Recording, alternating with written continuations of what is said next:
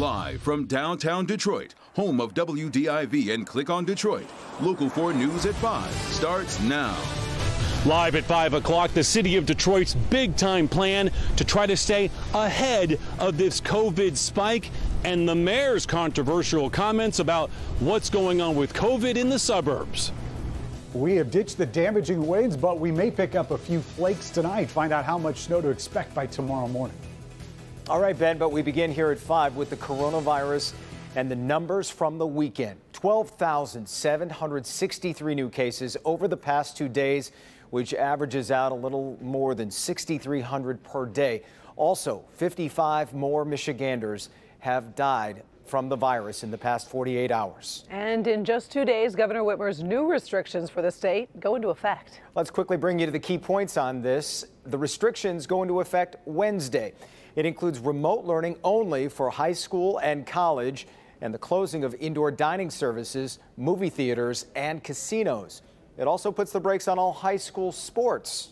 Now, Dr. Robert Gordon, Michigan's Health Department Director, is the man responsible for implementing those new COVID 19 restrictions. And tonight he's telling Michigan we should expect a vastly different Thanksgiving than the one we're used to. He believes there is something good on the horizon, though.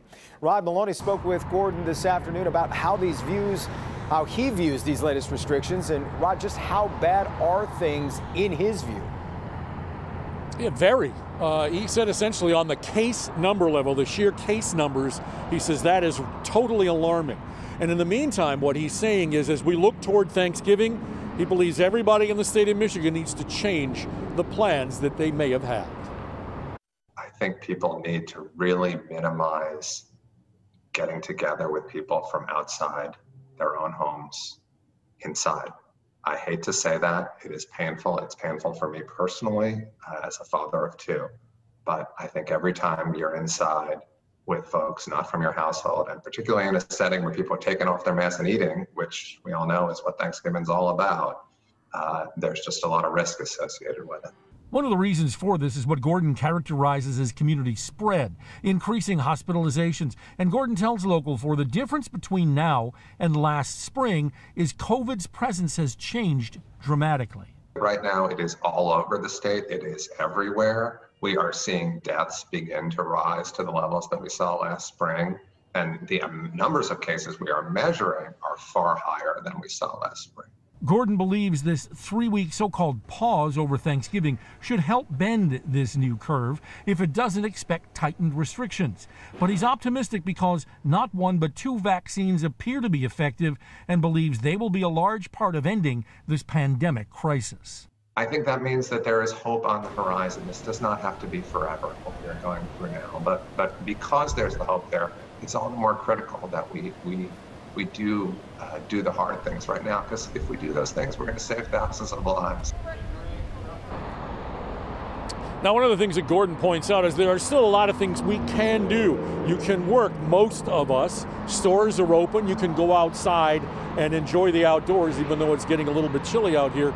Uh, but he says essentially what everybody needs to be doing is masking up and also making sure you don't do gatherings indoors no matter where you go. Back to you. And Rod, probably kind of presumably here, but how is Michigan's legislature reacting to these new orders? Yeah, uh, not well. Um, they are deeply concerned about whether there is some legality involved in this. They're questioning that.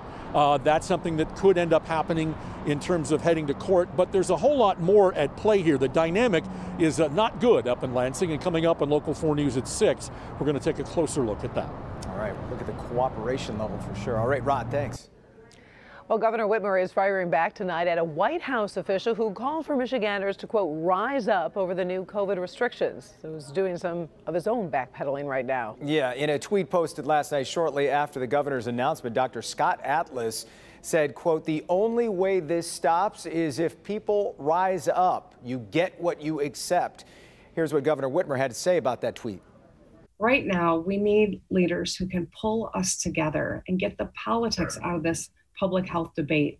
Um, I'm, I'm, incredibly astonished by um, you know the the rhetoric, and yet it's not going to uh, dissuade me from following the best experts that we can in order to keep people safe. That's my job, and I'm going to keep doing my job. It was just about a month ago when the FBI uncovered an alleged plot to kidnap and kill the governor. Well, Atlas later pulled back on his original statement and said his tweet was in no way meant to incite violence. Well, from the state's response, we turn now to the city of Detroit. Mayor Duggan giving up his own update on where things stand for the city in its fight against COVID 19. And while Detroit's numbers remain relatively low, Duggan says the surrounding suburbs and out of state areas are forcing the city to take immediate action. Shawn Ley, live this evening at the Williams Rec Center on the city's west side with the very latest. Sean.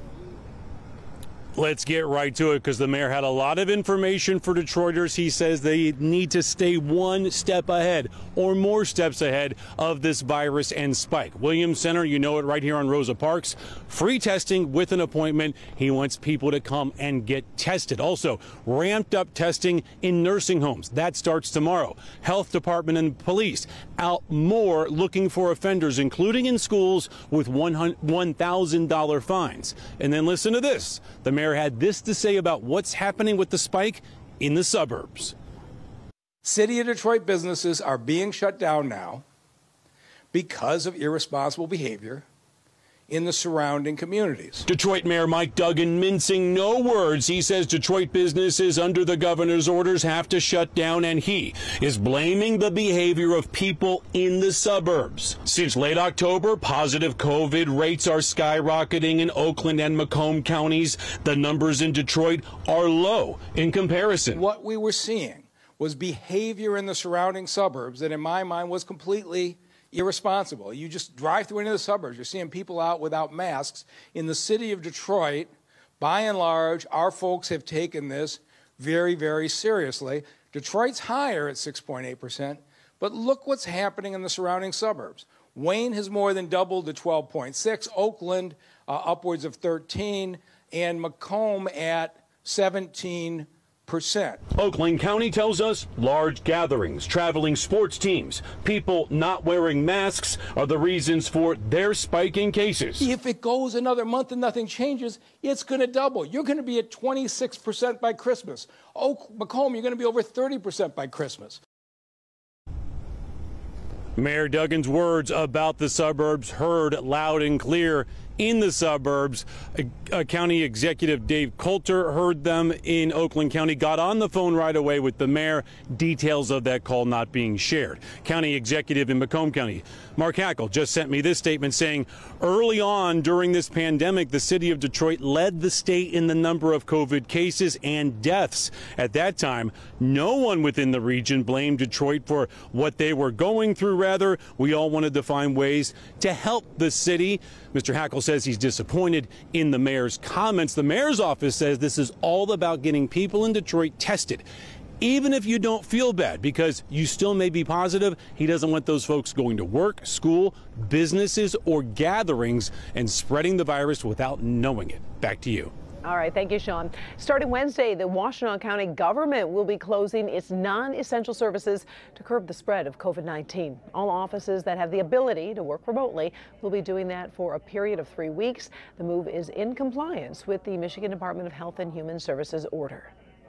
Now to the election and a lawsuit aimed at invalidating results in Wayne, Ingham, and Washtenaw counties has been dropped now. That lawsuit claimed the results were fraudulent. Meantime, President-elect Joe Biden spent today focused on the economy, while all while the Trump team refuses to release funding for that transition. Alice Barr is following that part of the story tonight from Washington. Alice. Jason, President elect Biden is setting his sights on an economic recovery today, trying to look past transition hurdles.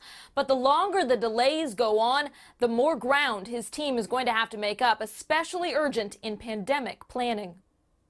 President elect Joe Biden and Vice President elect Kamala Harris meeting today with labor leaders and the CEOs of top companies from General Motors to Microsoft, stressing the need to control the pandemic in order to kickstart the economy. We want to get the economy back on track. We need our workers to be back on the job by getting the virus under control. In a critical step to getting back to normal, drug maker Moderna announcing early data shows its vaccine is more than 94% effective. It's now the second company to show such promising results. And getting the vaccine and a vaccination, though, are two different things. The sooner we have access to the administration's distribution plan, the sooner this transition would be smoothly moved forward. More people may die if we don't coordinate. Vaccine distribution will be a monumental task. And with President Trump still refusing to concede and offer help to the incoming administration, medical experts are raising the alarm about potentially damaging gaps in the handoff. Essentially passing a baton without stopping running. I mean, you just want things to go very smoothly. As President Trump keeps making false election claims, including that he won, his national security advisor Robert O'Brien sending a different message. If the Biden Harris uh, uh, ticket is determined to be the winner, and, and it's, you know, obviously things look that way now uh, we'll have a very professional transition from the National Security Council. Despite the mixed messaging, Wall Street rallying today on the vaccine news, while Main Street businesses struggle to stay afloat until that news becomes reality. It's expected that about 20 million high risk Americans will be able to be vaccinated by the end of the year, but it will likely be late spring or summer before the doses are widely available to the general public. In Washington, Alice Barr, Local 4. All right, Alice. By the way, we're going to have much more on the results of that Moderna vaccine ahead at 5:30, including the special role Henry Ford Hospital played in making sure the vaccine worked for everyone, no matter their skin color. Meantime, that preliminary data from Moderna lifted expectations of a strong economic recovery, causing stocks to jump. The Dow Jones Industrial Average and S&P 500 index closed at an all-time high. Stocks that would benefit from the economy reopening, like United Airlines and Carnival, led the way. Higher shares of companies that have thrived during the pandemic, like Netflix and Amazon, did struggle.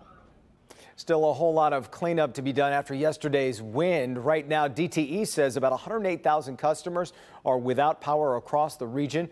Currently, the company has more than 1,500 crews out in the field. It expects to have the majority of customers back on the grid by Wednesday.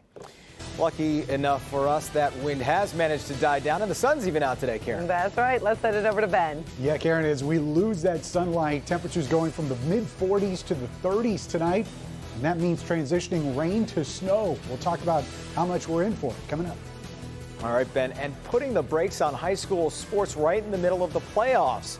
New tonight why coaches say they still have hope they'll be back on the field soon. And here's Hank. Restaurant owners already reeling, now getting ready to enforce new rules that will affect the bottom line, how they'll be able to survive financially. Coming up tonight in my Help Me Hank report.